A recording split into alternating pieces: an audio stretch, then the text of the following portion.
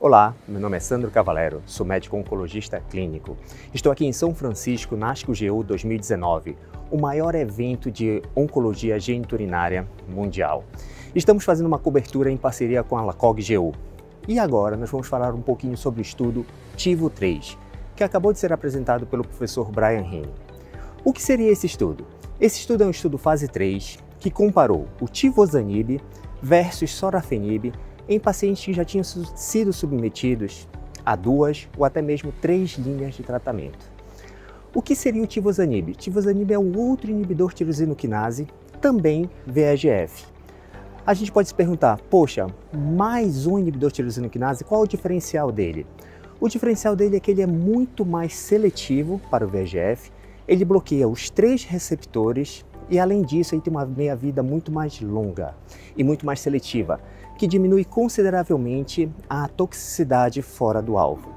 Bom, nesse estudo, cerca de 40% dos pacientes acabaram realizando também imunoterapia, que isso é extremamente importante para a gente, pois com todos os avanços que a gente tem, a velocidade que a gente tem, o sequenciamento do tratamento é algo extremamente importante.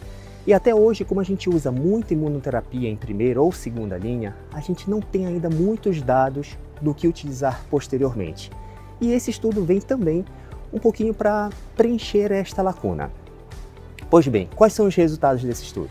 Sobrevida livre de progressão, que foi o endpoint primário, deu 5,9 versus 3,6, com uma redução do risco de progredir de cerca de 23%.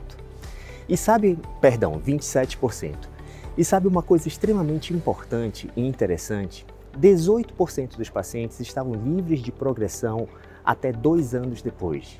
E no subgrupo dos pacientes que já tinham utilizado a imunoterapia, cerca de 25% dos pacientes em uso de tivozanib estavam livres de progressão em dois anos.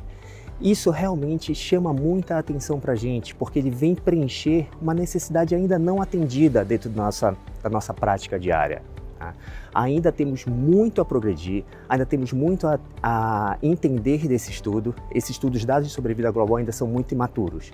Mas, devido à ausência de dados que a gente tem hoje, neste cenário de segunda, de terceira ou até mesmo de quarta linha, esse estudo vem para a gente com um otimismo muito grande, pois afinal de contas a gente teria uma oportunidade, a gente teria uma opção a, ah, de droga a realizar neste cenário pós pós-imunoterapia.